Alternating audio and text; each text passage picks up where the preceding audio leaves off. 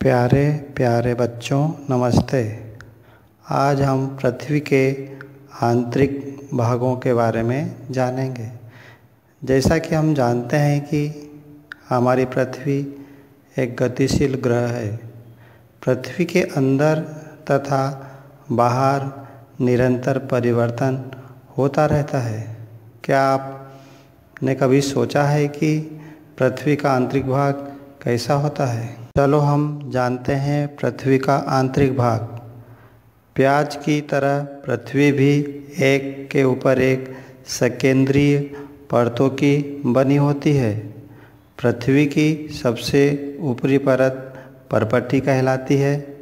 यह सबसे पतली परत होती है। यह महाद्वीपीय में 35 किलोमीटर तथा समुद्र सतह में केवल पाँच किलोमीटर तक होती है।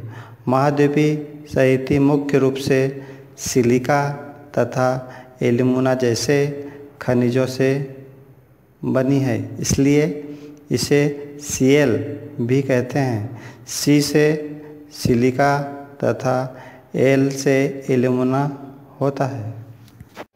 परपट्टी के ठीक नीचे मेंटल होता है, जो 29 किलोमीटर की गहराई तक फैला होता है। इसकी सबसे आंतरिक परत क्रोड होती है। क्रोड की त्रिज्या 35 किलोमीटर होती है। यह मुख्यतः निकिल एवं लोहे की बनी होती है।